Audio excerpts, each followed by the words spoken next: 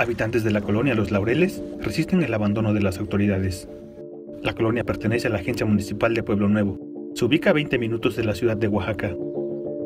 Pero a pesar de esto, carece de diferentes servicios. El Comité de Vida Vecinal ha hecho las gestiones ante diferentes dependencias, pero sus esfuerzos son opacados por los ejidatarios de Pueblo Nuevo. La necesidad principal de los vecinos es el suministro de agua.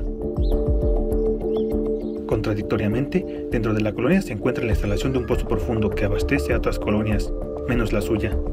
La colonia Los Laureles está conformada por 10 calles y al menos 300 habitantes conviven en esta zona.